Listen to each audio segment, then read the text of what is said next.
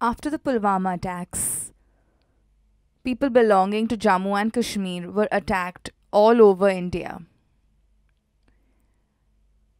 This is why the Supreme Court on 22nd February 2019 ordered the police in all the states to make sure the people of Jammu and Kashmir are safe.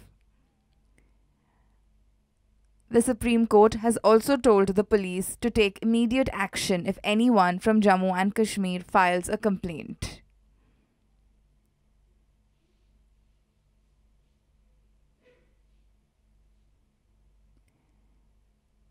In Maharashtra, there were incidents of violence against Kashmiris, as well as in the states of Uttarakhand, Bihar, and West Bengal.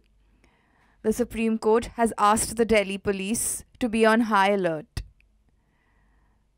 The Ministry of Home Affairs told all the state governments and the union territories that the Supreme Court has ordered to prevent assaults and threats against the Kashmiris. The Ministry of Home Affairs is also worried about Kashmiri students who are facing problems in India.